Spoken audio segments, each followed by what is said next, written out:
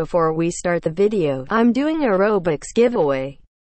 So make sure to like, subscribe and comment leaving your username. And make sure to join my group, link in description. Let's get into the video.